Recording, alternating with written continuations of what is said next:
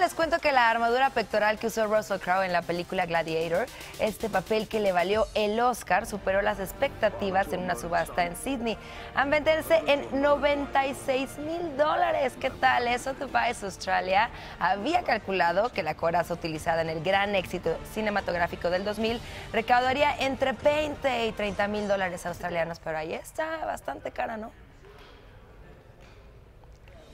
Imagen Noticias con Paco Sea, lunes a viernes 5.50 AM. Participa en Imagen Televisión.